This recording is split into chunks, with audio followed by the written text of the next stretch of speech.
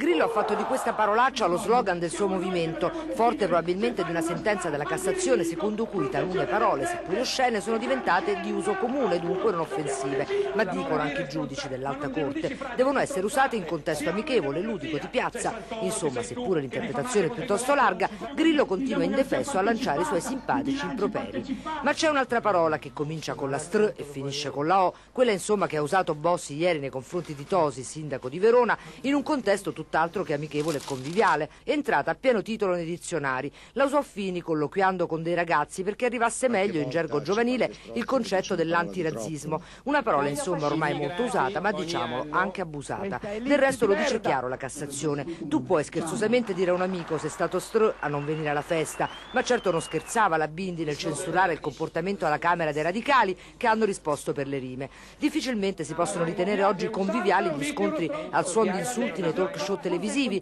La giustizia però per questo tipo di reato non può intervenire senza querela di parte. Dunque, visto che le parolacce ormai le usano tutti, sarebbe troppo lunga la lista delle querele e delle controquerele. Così la sdoganata parola compare ora senza remore anche nei titoli dei più importanti quotidiani, pochissime le eccezioni come quelle della stampa e del Corriere, che interrompono elegantemente con qualche puntino l'improperio, ma solo la stampa, bisogna riconoscerlo, mantiene la stessa linea anche dentro al servizio. Insomma, se dici str non rischi la condanna, ma sentirlo dire soprattutto sentirselo dire non fa piacere a nessuno.